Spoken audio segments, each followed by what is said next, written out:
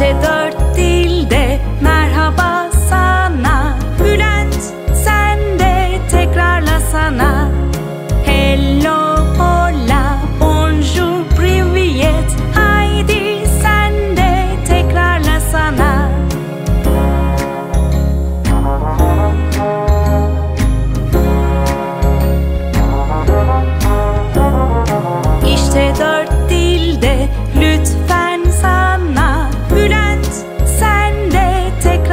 sana Please, por favor, s'il vous plaît, pas jalousa.